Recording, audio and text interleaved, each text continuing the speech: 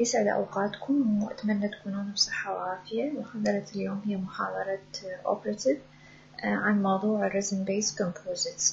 طبعا هاي المحاضرة هي المحاضرة الأخيرة من محاضرات ال operative نوعا ما طويلة. يعني بدل ما قسمكم إياها إلى two parts صارت كلها ب one part لكن هذا ال part شوي طويل. تحتاج منكم تركيز شوي وتحتاج إعادة. اسمعوها أكثر من مرة.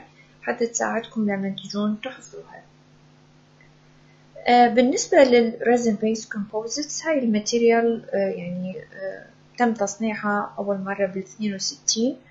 وهي يعني عملت نقلة نوعية بال dental material طبعا أول ما تصنعت ال composites ما كان بالصفات والخواص اللي هو عليه اليوم لكن التطورات اللي صارت عليه أحدثت تغيرات كلش كبيرة بهاي ال material وانطت advantage كلش هواية بيها ال advantage of أو ال indication of this material طبعا نقدر نستخدمها بكل الكلاسات أو يعني class ال1 وال2 وال3 وال4 وال5 وال6 و whatever يعني anterior posterior restoration كلها نقدر نستخدمها.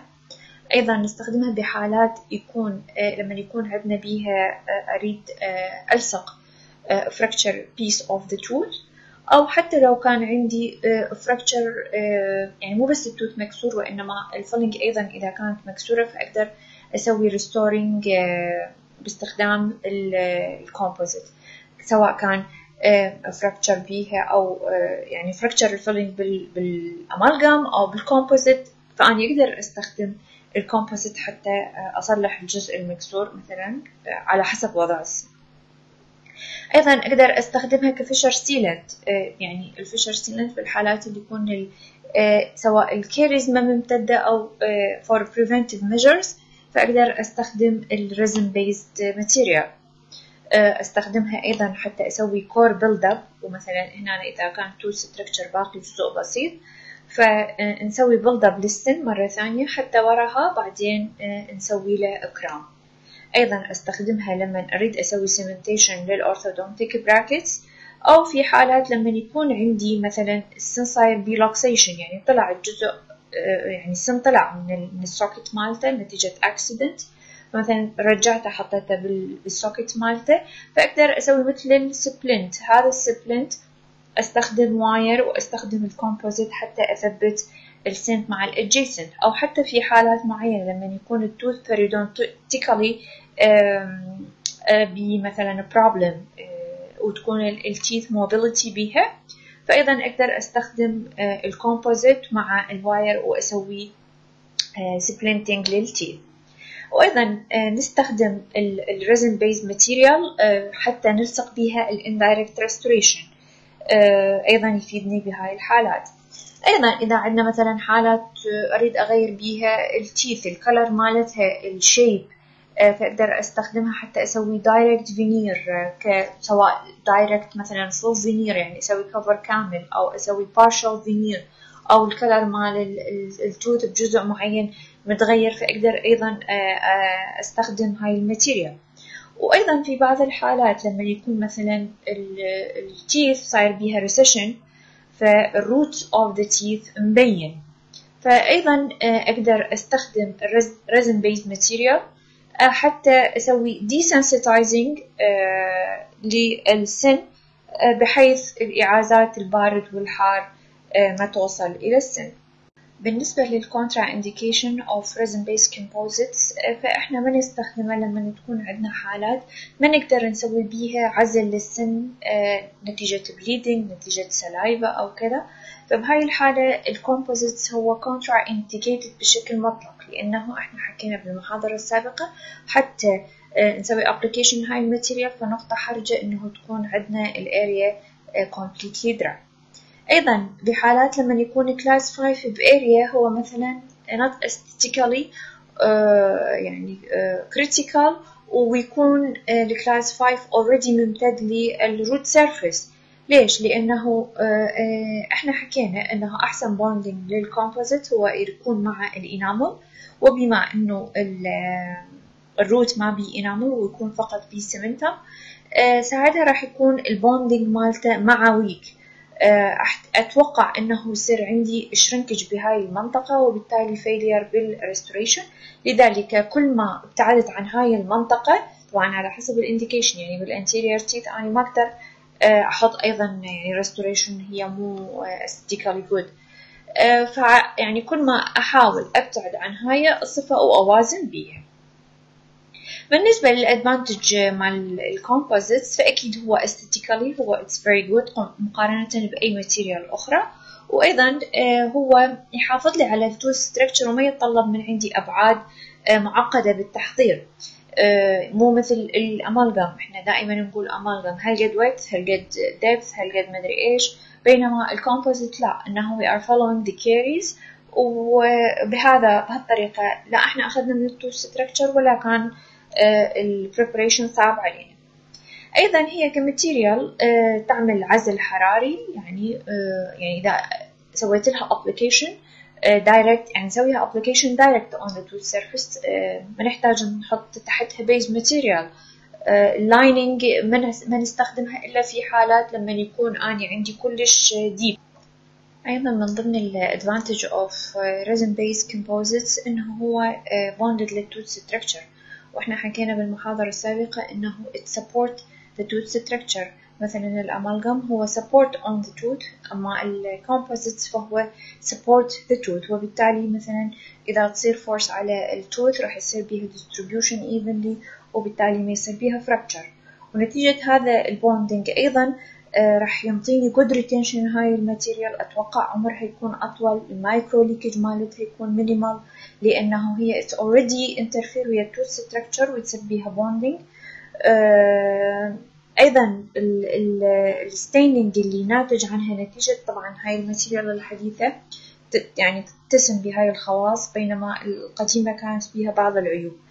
آه مثلا من ضمن صفاتها أيضا يعني أنه يسميها minimal staining لأنه هي it's already bonded لل tooth structure فهو ال stain يعني شنو؟ يعني يصير عندنا interfere بال بال color material ما بين ال tooth وال filling بينما هي نتيجة ال good ال good bonding مالتها فال interference هذا ما بين ال filling material وال tooth يكون قليل.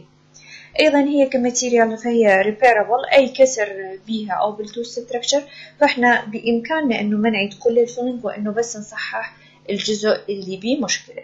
بالنسبة لل disadvantage of resin based material composites فإنه أول شيء فقرة ال gap formation خاصة أتوقع هاي الصفة تصير لما استخدم هاي ال material على ال root surface ليش؟ لأنه ال composite عفوا هنا ال bonding مالته weak مع ال root surface فلما أسوي polymerization أو أحاول يعني أخلي ال composite يصير بي setting أو light curing يصير بي shrinkage فهذا ال shrinkage القوة مالته باتجاه ال center of the filling حيكون ال shrinkage أقوى من ال bonding مال ال filling material ويا ال tooth surface وبالتالي راح يصير عندي هذا ال gap أيضا ال restoration تعتبر difficult من أي ناحية إنه عندي بها مراحل إنه عندي etch عندي bond عندي إذا رح ناخد إنه ال bond بأجيال بي إذا ال bond يعني بمراحل أيضا. فهو تعتبر sensitive technique sensitive ما يتطلب إنه ما يكون عندي لعاب لازم يكون الشغل جدا دقيق material ما تسامح بالأخطاء فهي technique sensitive وبالإضافة إلى إنه ال cost مالتها أعلى مقارنة بال amalgam وهي time consuming أكثر لأنه تحتاج دقة وتحتاج مراعاة إلى خطوات ال application مالتها. أيضا بيها يصير عندي ممكن occlusal wear خاصة لما تكون هاي ال material يعني إنه كل ال occlusion يجي على ال filling material وبالتالي أتوقع إنه يصير عندي بيها occlusal wear بالمستقبل. بالنسبة لل composition of uh, resin based composites فهو راح يتألف من resin. resin هذا تشوفون هذا ال ال الوردي الفاتح. فهو resin matrix يعني قالب. أوكي؟ uh, ويتألف من filler particles اللي هي هذه الورديات. وأيضا يتألف من coupling agent آه عفوا قبلها ال filler particles. آه شنو اللي راح تسوي؟ هي راح آه آه تمنع لي ال deformation of the matrix إنه يصير بيه مشاكل. آه أيضا تنطيني ال mechanical properties لل composites هي. يعني مثلا هسه راح نجي ناخذ أنواع. نعرف إنه بيها sizes بيها على حسب ال size مثلا ممكن تنطيني ال aesthetic properties ممكن أيضا تنطيني ال mechanical properties على حسب ال size of these particles. بالإضافة إلى أنه تنطينا مثلا radiolucency أو radiopacity راح تعتمد على صفات ال filler particles اللي موجودة ضمن ال matrix. يعني هو قالب وبي part يعني هو ال matrix وبي particles اللي هي ال filler. راح تنطيني صفات كل أنواع ال composite اللي راح نجي ناخذها بعدين.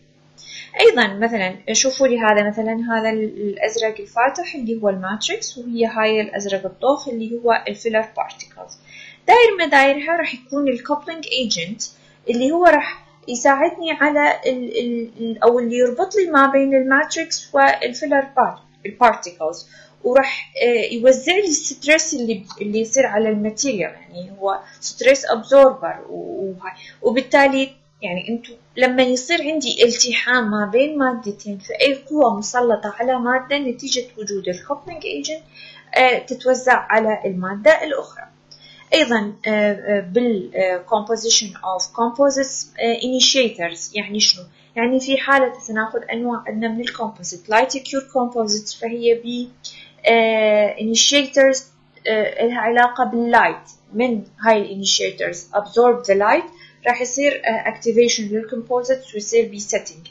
أما في حالة مثلا النوع الآخر اللي هو chemical cure نتيجة التحام مثلا شلون نفس فكرة ال base وال catalyx ال catalyst عفوا إلها initiators فهي اللي تحفز بداية التفاعل حتى يصير وراها بها setting لل material وأيضا أكو عندنا مواد مثبتة stabilizer وال pigments اللي هي مسؤولة تنطيني اللون مالت ال composite